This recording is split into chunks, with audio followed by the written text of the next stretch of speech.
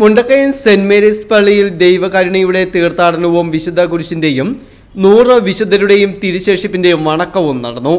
കേരളത്തിലെ നൂറ് കേന്ദ്രങ്ങളിലൂടെ holy home ministry സംഘടിപ്പിക്കുന്ന വിശുദ്ധരുടെ തിരിശേഷിപ്പ് തീർത്ഥാടനത്തിൽ പരിശുദ്ധ പിതാവ് ഫ്രാൻസിസ് മാർപ്പാപ്പ വെഞ്ചിരിച്ച തിരുക്കുടുംബത്തിന്റെ ചിത്രവും പോളണ്ടിലെ ക്രാക്കോവിൽ നിന്നുള്ള ഈശോയുടെ ദൈവകരുണ ചിത്രവും ഉൾപ്പെടുത്തിയിട്ടുണ്ട്. രാവിലെ ആറിന് വിശുദ്ധ കുർബാന നടന്നു. ദേവാലയത്തിൽ തിരുശേഷിപ്പ് പ്രയാണം എത്തിച്ചേർന്നപ്പോൾ ഇടവക സമിതി സെക്രട്ടറി റെജി ചാക്കോ സ്വീകരിച്ചു. തുടർന്ന് യുവജന സംഘടനാ പ്രതിനിധികൾ പുഷ്പമാല്യം അണിയിച്ച വണക്കം ആരംഭിച്ചു. തിരുബാല സംഘത്തിന്റെ നേതൃത്വത്തിൽ പ്രദക്ഷിണവും നടത്തി. ദേവകർണയുടെ പ്രാർത്ഥനാ യാത്ര ഹോളി ഹോം മിനിസ്ട്രി സംഘടിപ്പിച്ചതാണ്.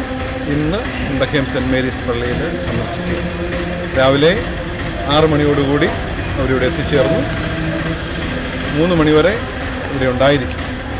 ഈ തീർത്ഥയാത്രയിൽ തീർത്ഥാടകർ സംവഹിക്കുന്നത് വിശുദ്ധരുടെ തിരുശേഷിപ്പും കുരിശിന്റെ നമ്മുടെ കർത്താവിന്റെ വിശുദ്ധ കുരിശിന്റെ തിരുശേഷിപ്പുമാണ്. അതോടൊപ്പം തന്നെ പോളണ്ടിൽ നിന്ന് നമ്മുടെ കർത്താവിന്റെ ദൈവകർണയുടെ ചിത്രത്തിന്റെ യഥാർത്ഥ പതിപ്പിന്റെ ഒരു രൂപം കൊണ്ടുവന്നിട്ടുണ്ട്. മറ്റൊരു മനോഹര രൂപം ഈശോയുടെ തിരുക്കുടുംബത്തിന്റെ രൂപമാണ്. പരിശുദ്ധ കന്യാമറിയും വിശ്വാസ ഉൾപ്പെട്ട രൂപം. ഈ രൂപം ആശീർവദിച്ചത് പരിശുദ്ധ പിതാവ് ഫ്രാൻസിസ് പാപ്പയാണ്.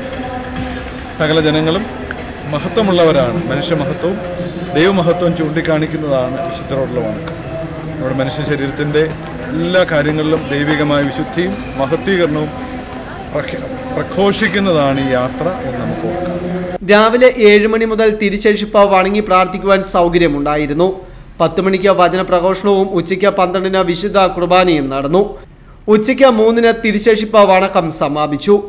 ഇടവക വികാരി father Tom Jose father Mathew Pallikkal father Job Kuzhivelil എന്നിവർ പരിപാടിക്ക് നേതൃത്വം നൽകി. News bureau Mundakkayam.